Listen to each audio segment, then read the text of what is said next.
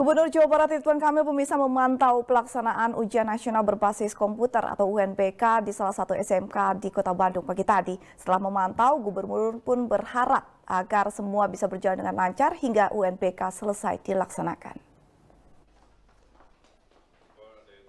Gubernur Jawa Barat Ridwan Kamil memantau pelaksanaan ujian nasional berbasis komputer atau UNBK di SMK Negeri 3 Bandung Rabu pagi.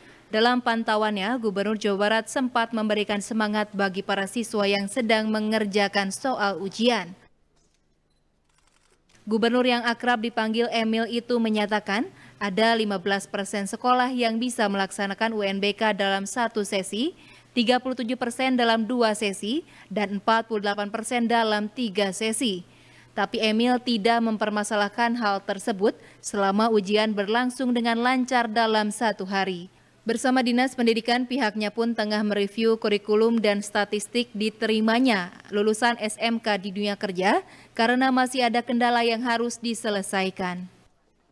Uh, saya harapkan berlangsung lancar, khususnya SMK.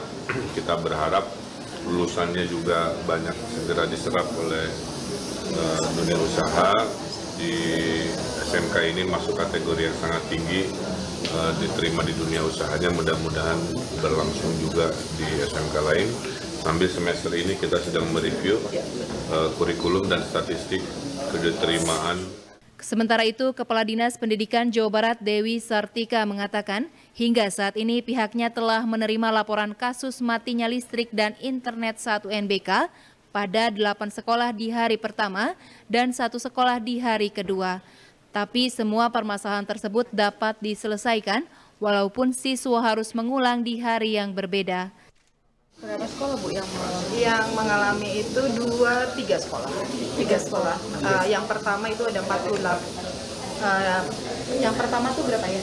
Hari ini 8 sekolah. Yang pertama yang kemarin satu sekolah. Ya di daerah mana daerahnya tersebar di beberapa daerah tapi jumlah siswanya nggak terlalu banyak ya 80 di yang hari pertama yang kedua cuma 14 saat ini setidaknya dari 3.800-an siswa, terdapat 3.200-an siswa SMK yang melaksanakan UNBK di Jawa Barat. Budi Hartati, Bandung TV.